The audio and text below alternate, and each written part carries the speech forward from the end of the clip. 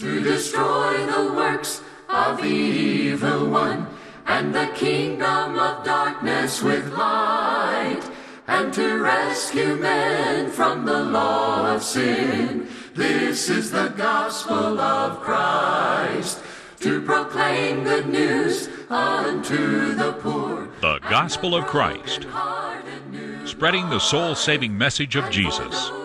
And now, Ben Bailey. This is the gospel of Christ. In John 19, verse 30, the greatest statement of finality that has ever been made comes. Jesus said, It is finished. And He died and gave up His life that the whole world one day might have the opportunity to be saved.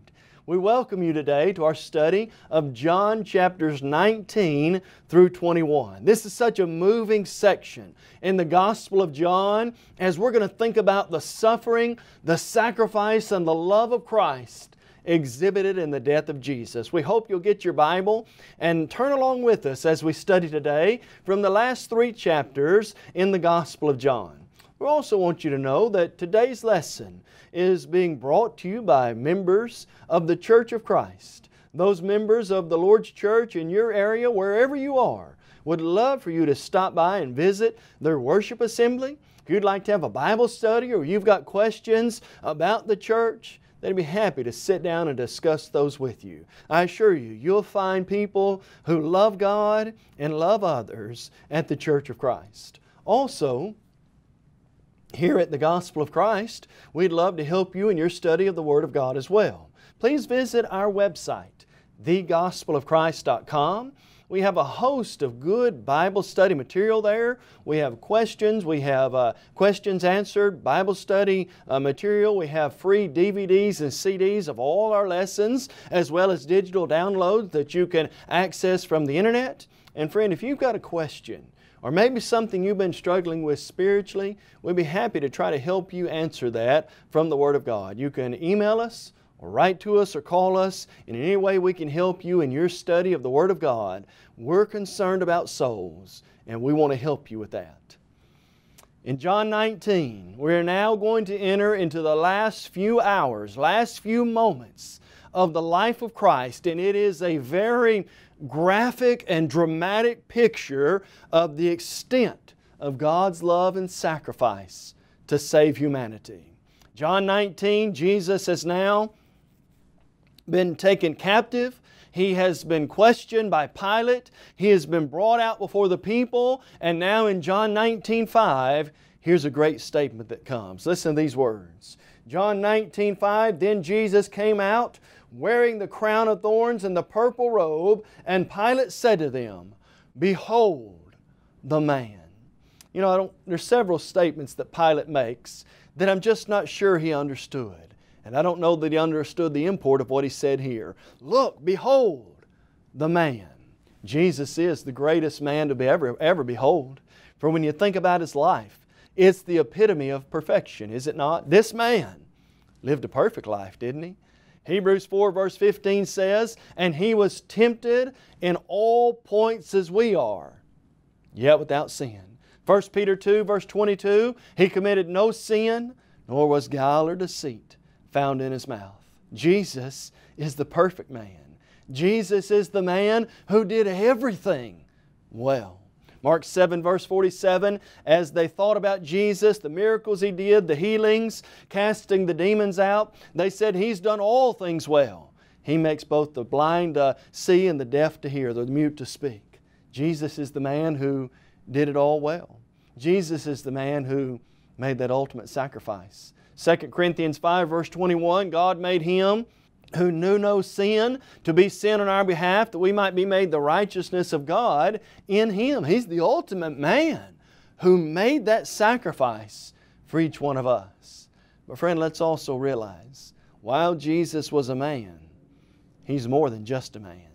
John 1 verse 1 says, In the beginning was the Word, and the Word was with God, and the Word was God. Who is that Word? John 1.14 says, We beheld His glory as the glory of the only begotten of the Father, full of grace and truth. More than just a man, He's also God, the Son of God. He is the Creator of all things. Colossians 1, verses 15 through 18. And so when I think about, you know, we think about great men. We think about people to, to look up to. Maybe your father, maybe you've got somebody else in your life who's a great father figure or somebody that you look up to, a great icon. Friend, you can never find a greater man to follow than the Lord and Savior, Jesus Christ. Then mentioned in John 19, verse 11, we see kind of, uh, in a nutshell, the great scheme of God's redemption, His plan to save mankind. Look at John 19, verse 11. Jesus answers Pilate and says, You could have no power at all against me unless that had been given to you from above. Therefore, the one who delivered me to you has the greater sin. What do you want me to do with this Christ? Crucify him, they say. And Jesus said, are you, Pilate said, Are you not going to answer me? Don't you know I've got power over you? And Jesus said, Hold on there, Pilate. Let's put a pause on that. You'd have no power at all if it hadn't been given to you from above. What do I learn from John 19, verse 11? The suffering, the agony, the trial, uh, the, the crucifixion of Christ, that was heaven's plan. Pilate was only a pawn. Judas upon as well. They had free will, now don't get me wrong. But it was ultimately God's plan being worked out. That's how much God loved me and you. 2 Timothy 1 verse 8, it was from before time. 1 Peter 1 verse 18, it was before the foundations of the world were ever laid. The church was God's eternal plan and Jesus purchased that with His own blood. Ephesians 3 verse 10 and 11. And so as I think about the events going on here, as I think about everything Jesus went through, this is heaven's plan. This is God's scheme of redemption to save mankind for all eternity. Now, let's think in detail for just a moment about what Jesus did face and what He did suffer. I want you to think about, I want you to think about this in, in personal terms now. I want you to think about it in the words of 1 Peter 2.24. He Himself bore our sins in His own body that we might be healed. We were, he was chastised for our peace. The, it was upon us, and uh, for our sins, He was crucified. I want you to think about the hour of that, the, the unique personal nature of Christ's suffering. What did Christ go through? Well, the Lord, according to John 19 1, was scourged. They took Jesus and they scourged Him. What does that mean? They took something like a whip.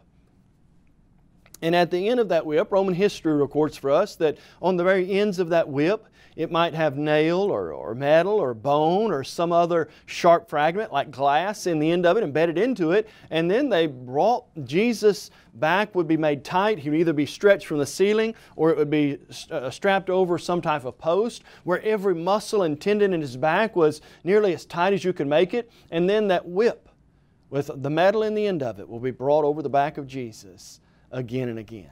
Can you imagine how that must have hurt? Then, according to John 19, 2, a crown of thorns was made and put on the head of Jesus. When you think about thorns, we're talking about these long thorns that sometimes you find on, on these long bushes out in the country. And uh, Jesus, a crown of thorns was made and then that was placed on the head of Jesus. I doubt they placed it real gently as those crowns pierced His brow.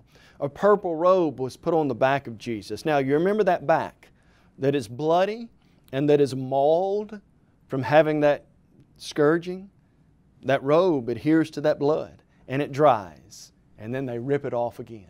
They hit Jesus with the hand, they spit in the face of the Savior. The robe is taken off and all the pain of the scourging starts again. They, they mocked Jesus, they bowed the knee, they said, Hail, King of the Jews. They mocked the Savior.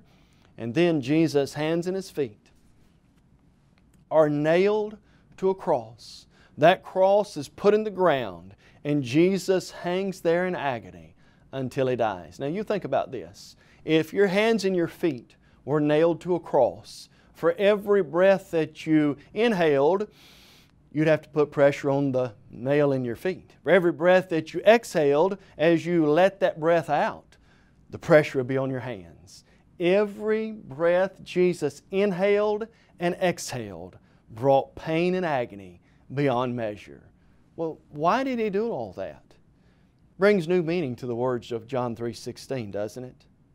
God so loved the world, he gave his only begotten son, that whoever believes in him should not perish, but have everlasting life. Why did Jesus face all that? Why did he go through that?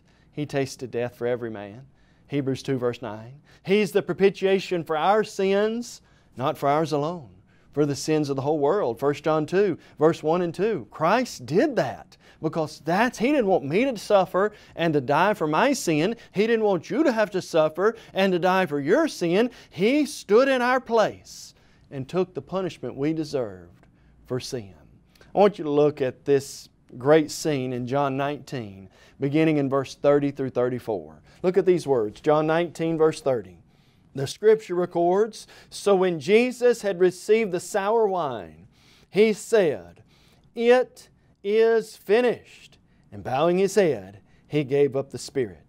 Therefore, because it was the preparation day that the body should not remain on the cross on the Sabbath, for the Sabbath was a high day, the Jews asked Pilate that their legs might be broken, that they might be taken away. Then the soldiers came and broke the legs of the first and of the other who was crucified with him. But when they came to Jesus and saw that he was already dead, they did not break his legs. But one of the soldiers pierced his side with a spear, and immediately blood and water came out. You know, when you think about the events of the cross and them coming to Jesus, He's already dead. They've got to check. They pierce that side of this, and blood and water comes out. The blood and water both collect around the heart after death, and, and blood and water came out. Jesus had already given up His life. Zechariah 13, verse 1 says it this way I can't help but think of Zechariah 13, 1 when I think of that blood and water coming forth from the body of Jesus. It says this a fount was opened for cleansing and for sin in Jerusalem.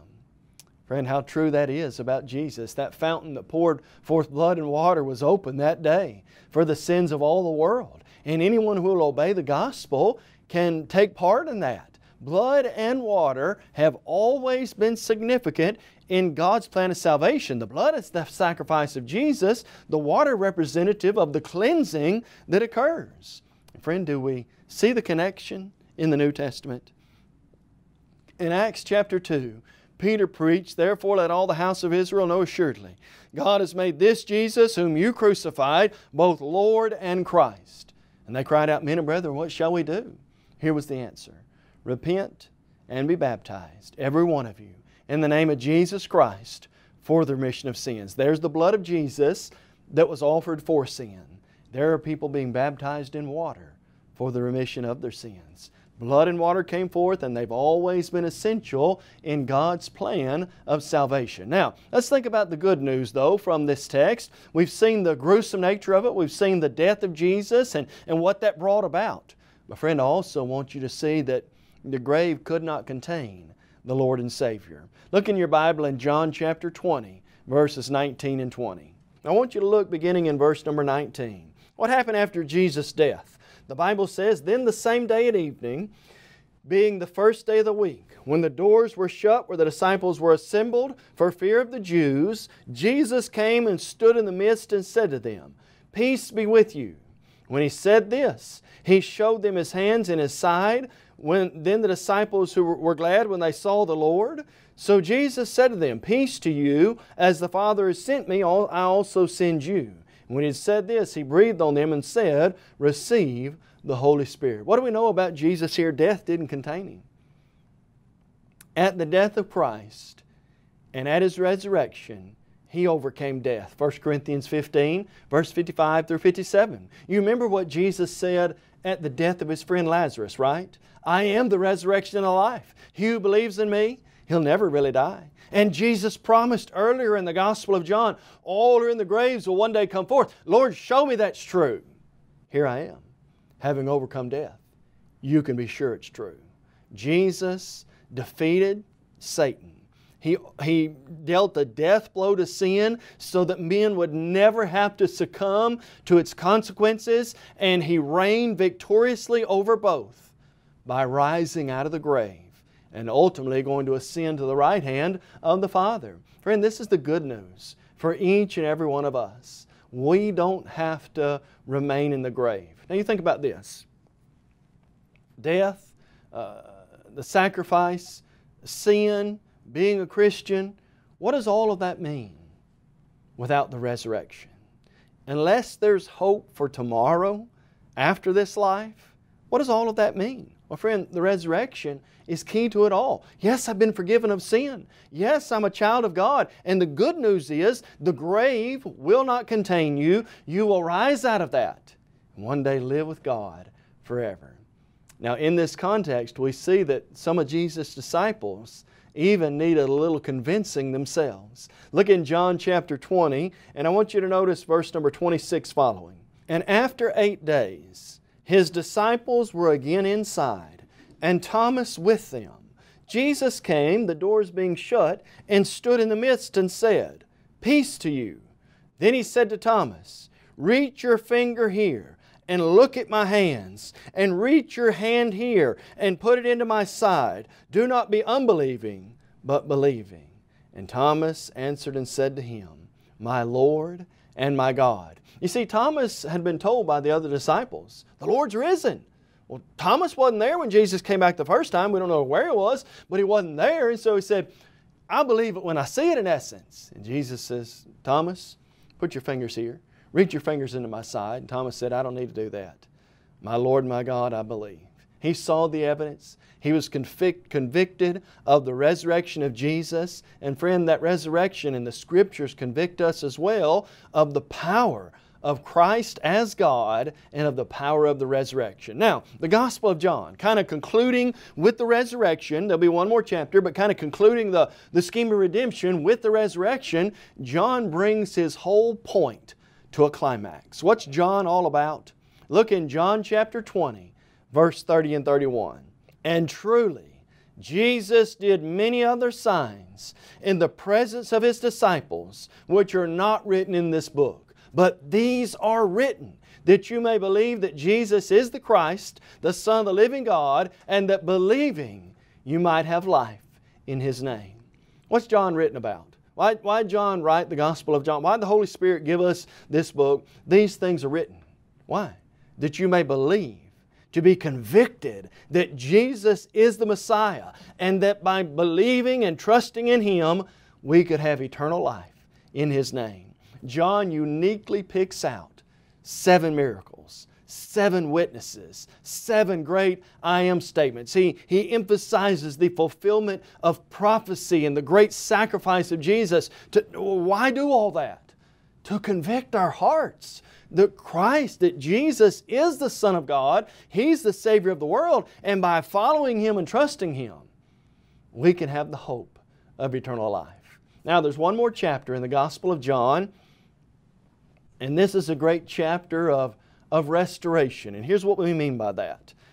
Peter played a, a, rather important role in the trial, betrayal, and crucifixion of our Lord. You know as well as I do that it was Judas who betrayed the Savior when they offered him those 30 pieces of silver, when the rooster, or when, the, when they offered him those 30 pieces of silver and he kissed Jesus and identified him, he was the ultimate betrayer.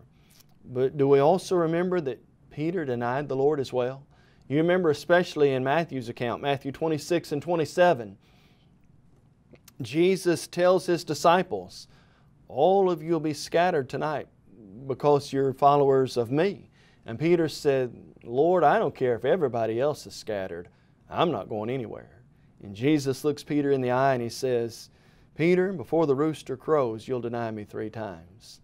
And Peter did exactly that. You remember they said as Peter is standing there warming himself by the fire, Aren't you one of his? No, not me. Weren't you with him? Ah. And the last time when they questioned Peter, You're one of his disciples. Truly, your speech betrays you. The book of Matthew tells us he began to curse and to swear, I don't even know the man. And then he heard that echo of that rooster as it crowed. And he remembered the words of Jesus. And he went out and wept bitterly. How did Peter deal with that? He had been following Jesus for nearly three years.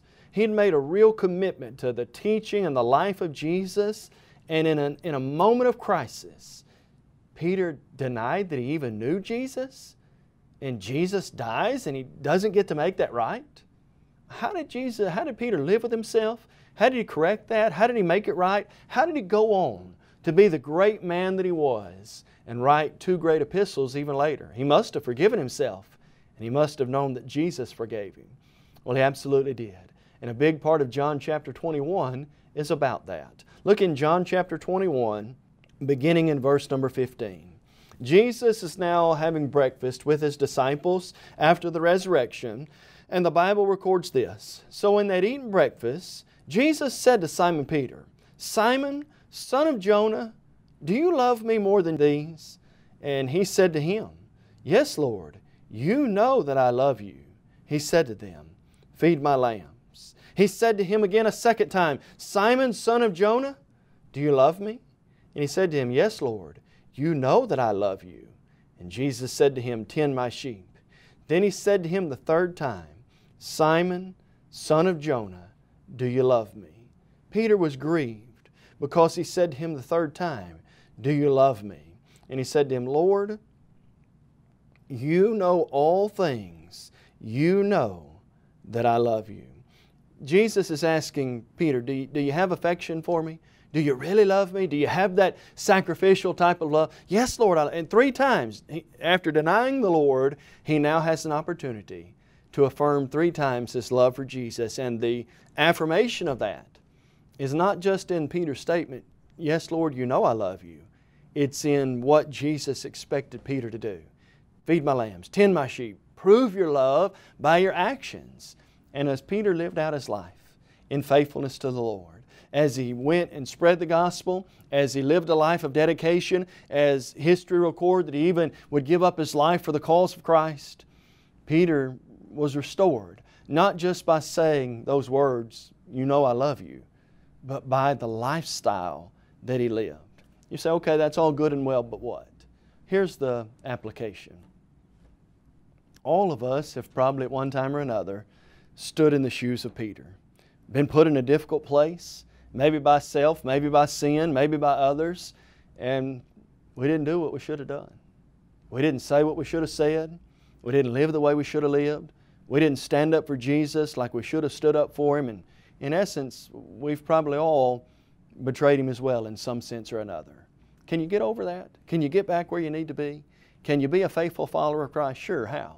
Prove your love for the Lord by making it right and living for Him, living for Him, committing to His cause, and being a servant of Christ's people each and every day. That's what it really means to prove your love to the Lord and Savior. And so there's no doubt that Peter loved Jesus. There's no doubt that he gave in during a moment of weakness, but his life proves his commitment to the Lord and Savior. We've all made mistakes and done things that we shouldn't have done. You can get over that. You can be forgiven. You can be right with God. But each of us needs to live a life of service and sacrifice to God like Peter did the rest of the days of our lives. Now, one other lesson from John chapter 20, and it's found in verse number 25. John wants to leave us with this impression. He says, I've given you the evidence. I've shown you the, by, by these examples that you can know Jesus is the Christ. But here's what I also want you to know what we've shown doesn't even begin to touch the hem of the garment of all that Jesus said and did. There could have been much more, but this suffices. Look in John chapter 21, verse number 25. The book of John closes by saying, And there are also many other things that Jesus did, which if they were written one by one, I suppose that even the world itself could not contain the books that would be written. You know, that leaves us with a lot to wonder and think about. I know just from what I've read in the Bible the good Jesus did. That doesn't even touch the hem of the garment of all the good that He did. Friend, as you think about the Gospel of John, the message John leaves us with is that, that God loved me and you so much that He sent His Son to die for the world. The message that we find in the book of John is that Jesus is the way the truth, and the life. That if I will follow Him, I can have the hope of overcoming death and sin, and I can one day partake in the resurrection. But to do that, I've got to be a follower of our Lord and Savior Jesus Christ. Nicodemus came to Jesus. Teacher, we know that you're a man sent from God. Nobody can do the things you do unless God's with him. Jesus got right to the heart of the matter and said, Nicodemus, unless one is born again, he can't get into my kingdom. Nicodemus said, Lord, what do you mean? How can I be born? How can a man be born when he's old? You want him to go a second time into his mother's womb and be born again? And Jesus clarified by saying, Unless a man is born of water and the Spirit, he cannot enter the kingdom of God. Friend, we want to encourage you today to put your faith in Christ, to become a Christian, to have the hope of eternal life by obedience to the gospel. As Jesus said, you've got to be born of water and the Spirit. You've got to hear the Word of God to be saved. Faith comes by hearing, and hearing by the Word of God. Romans 10, verse 17. Having heard the message that Jesus is the way, the truth, and the life, you've got to make a commitment to that. In Acts chapter 8, as Philip is teaching the Ethiopian eunuch the gospel, they come to a certain water, the Bible says, and the eunuch says, Here's water, what did it hinder me? If you believe with all your heart, you may. Friend, to be saved, not only do you have to hear the message of salvation, you've got to believe with all your heart that Jesus is the Christ, the Son of the living God. You've got to repent and turn from sin. Stop doing wrong. Make up your mind, I'm going to try to live for Jesus every day. I'm going to stop doing wrong. I'm going to turn from sin. Luke chapter 13, verse number 3. You've got to confess Jesus as your Lord. With the heart one believes unto righteousness, and with the mouth confession is made unto salvation. Romans 10, verse 10. And friend, you must be born of water to be a child of God. Saul was told in Acts chapter 9 by Jesus, he was told, You go into the city, it'll be told you what you must do. God sends a man by the name of Ananias to Saul, and here's what Saul tells, or what Ananias tells Saul he must do Arise and be baptized and wash away your sins, calling on the name of the Lord. Peter said in 1 Peter 3:21, baptism does now also save us. And then, once I obey the gospel, I've got to be faithful until death. Revelation 2, verse 10. I must walk in newness of life, trying to live a good life and be a light to the world every day of my life for my Lord and my Savior. And so John says, Jesus is the Son of God. He's the Savior of the world. Here's the evidence. We beg you to believe it. If you're not a Christian, we beg you to obey the gospel today and be faithful until death. You may have just joined our program and are wondering, what is the gospel of Christ? The gospel of Christ is an evangelistic work of the churches of Christ that reaches the whole world with the gospel through TV, radio, and internet. Our motto is to take the whole gospel to the whole world. We believe in having a book, chapter, and verse for everything we say and do. And unlike many religious groups today, we're concerned about lost souls, not your wife. This is the gospel of Christ. We encourage you to visit thegospelofchrist.com for a host of Bible study material, as well as audio and video copies of our lessons. If you would like to have a copy of today's lesson, please visit our website and fill out a media request form or you can email us at mail at thegospelofchrist.com. Call us toll free at 1 855 458 3905 or write to us at P.O. Box 788, McMinnville, Tennessee 37111.